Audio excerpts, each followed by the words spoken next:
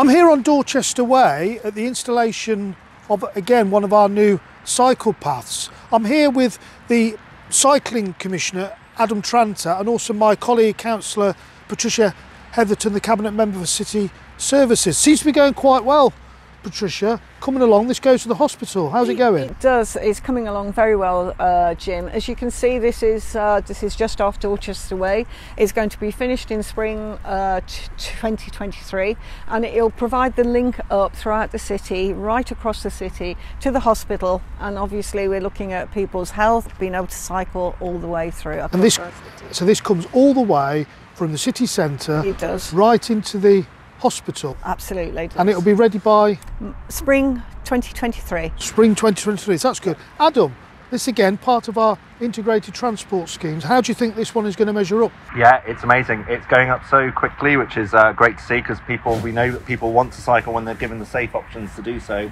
um, and the quality as well. You know, decades of we've had decades of kind of cycle paths that, that maybe are good when they're there, but they end or whatever, and now we've got the full continuous route all the way from the city centre all the way to the hospital. You've got the business park. Uh, it's magnificent just seeing how quickly the council are getting it getting it done. Um, and I'm, I'm, I've already started using bits of it when it's finished. And it's not, not even really finished yet up at the Bull's Head. And so, and, and so have I, by the way.